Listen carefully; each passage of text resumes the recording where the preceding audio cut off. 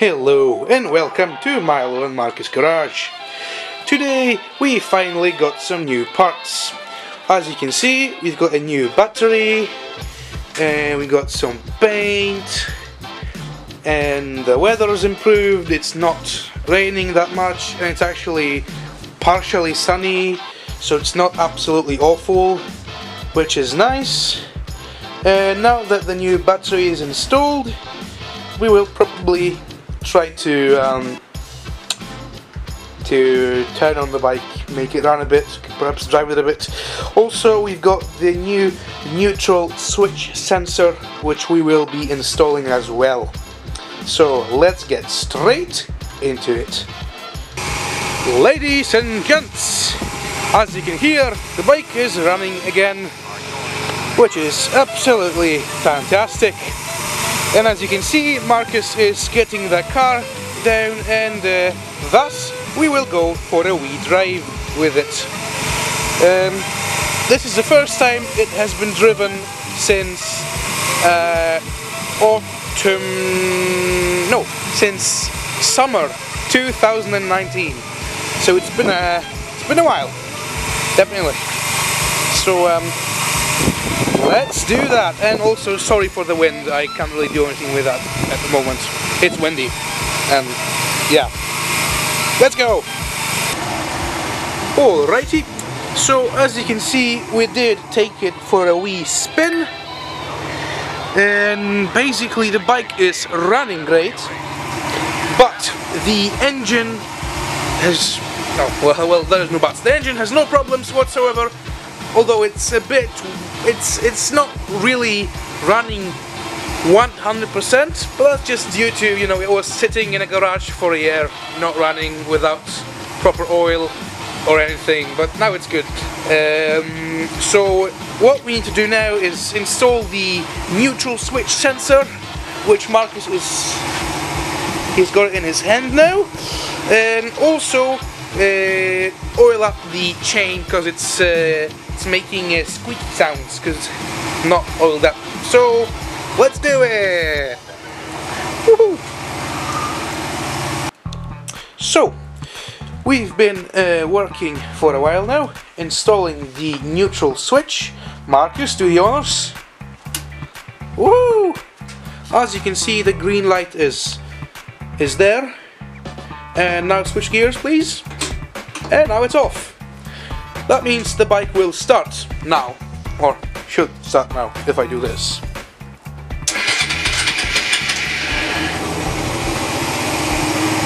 High five! Woo!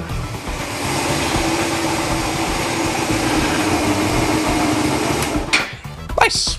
Yep, so um, neutral switch working. That is something that we critically needed to have to, you know, properly drive the bike, which is very nice.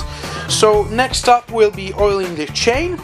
Uh, since it hasn't been really oiled in a while, we're gonna start off with a very thin oil probably something like WD-40 or something and then later on move to some thicker grease since it is uh, still theoretically wintertime slash early springtime and for that kind of weather you should use some thicker grease to avoid getting uh, you know just getting the oil washed away so we're gonna do that now let's go so as you can see we start from the front sprocket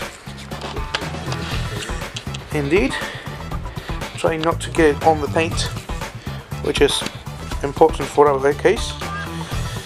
So he's just putting a graceful amount of WD-40 on the chain, which should make it go smooth.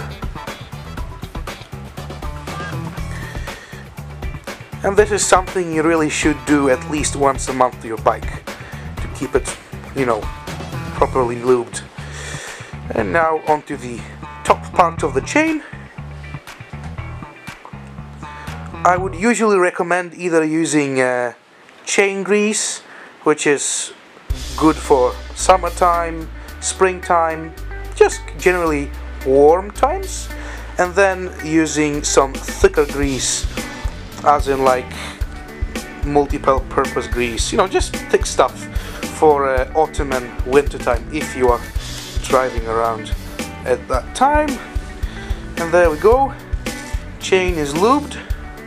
Now it's just a matter of running it a bit to make the, you know, to make all the fittings absorb that oil into them. Um, so, yeah, right now we're gonna probably um, drive around a bit because that's what we should do once you oil a chain. Just drive. Um, so yeah, pretty nice. So let's go for a wee wee driving trip, eh? Make the make the grease work. Yeah, let's go. Ja.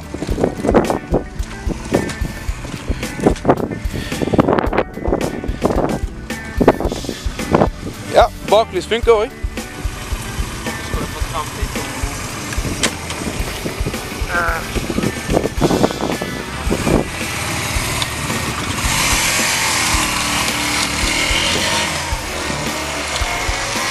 And off he goes.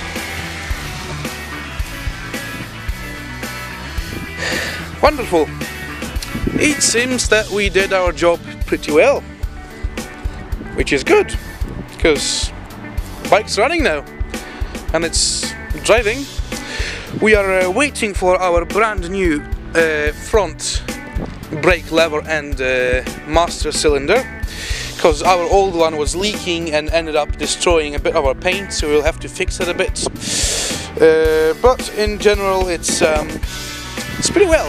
Everything is going pretty well. So now as you can see the weather is slowly improving. Uh, it did indeed snow for a while but now it's all gone. It's around 10 degrees Celsius. And uh, basically we're gonna wait about one to two weeks and then just um, start painting it. As you can see, or you actually probably can't see, but Marcus is slowly making it back here. Uh, so let's wait for him to come back. If he ever comes back. Maybe he crashes. I hope not. But we'll be back for business. There we go.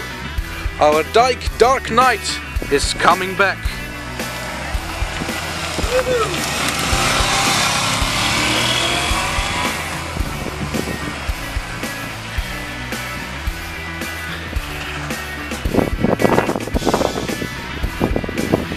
So, as you can see and as you can hear, bike is running pretty well. It's just a matter of, you know, letting it everything soak properly in and um, and paint it. So um, that's good, I guess. I think. Um, so yeah, it's um, everything is going surprisingly well. We're not dealing with any engine issues. The carburetors are working. Oh, the carburetor is working as it is supposed to.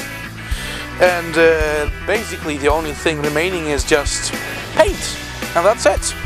Fix the sensor, as you can see it's working pretty pretty well.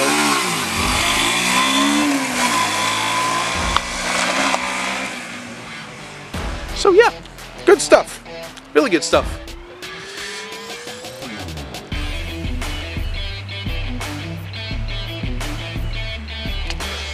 I'll bring you back when we are finished having fun with uh, with our finally working bike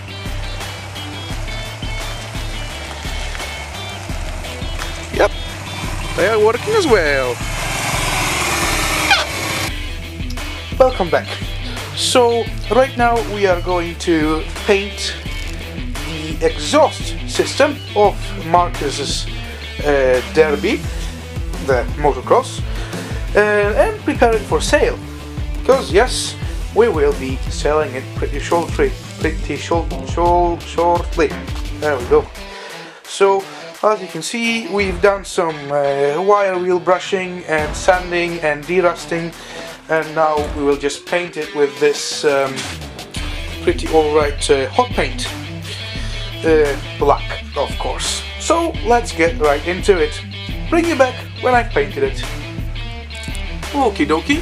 So here you have the fully painted part of the exhaust. Over in the room next door, which is right here, we have this little pipe that has also been painted. And as I just found out, uh, the muffler on this bike is made out of some carbon fiber stuff, so it doesn't need to be painted, because it doesn't rust. Meaning that my job here is done. And with that, I will probably wish you goodbye, because we don't only have that much more to do today. So, remember to leave a comment, like, subscribe, and as always, keep on riding. Goodbye.